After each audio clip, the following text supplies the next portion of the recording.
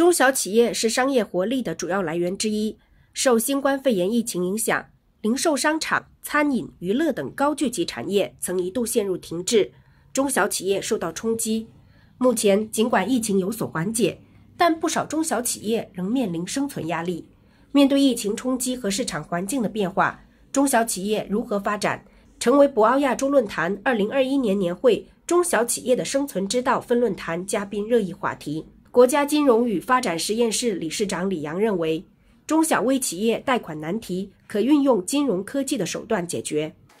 一个领域呢，就是我们要用现代的科技，也就是我们通常说的金融科技的手段，来解决中小微企业的贷款，特别是小微啊，因为大家知道，金融科技它使得人们接触金融资源是非常的便利了，对吧？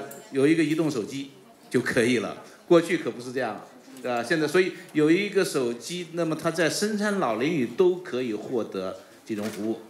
第二呢，它这个起点很低，的数额很小。以前你想你要到银行去贷款，怎么也得多少万吧？这几千块钱都是可以的，对吧？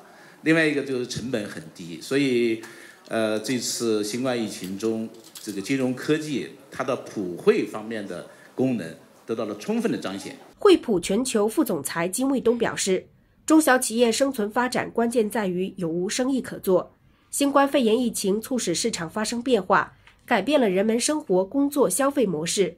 中小企业目前能否找到新的市场发展机会，进而转型，才是重中之重。大家以前做生意都是我认识几个人呐，我能够有一些什么生意做啊？现在很多这些生意啊，预算不够了，或者怎么样，生意下降了。但是，一边又冒出来很多线上的或者家用的消费的生意，他自己本身公司的这个经营的能力跟得不跟得上，跟不上去转型去抓这些机会。世界知识产权组织中国办事处代表刘华认为，知识产权可助力中小微企业发展。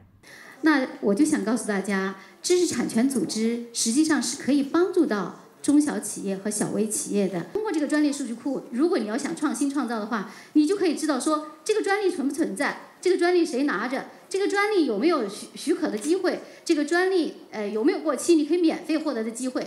然后在这个方向，在你想创新的这个领域有最新前沿的发展又是什么？你是可以获得一个站在前人肩膀上去这个发展，获得更大发展的机会的。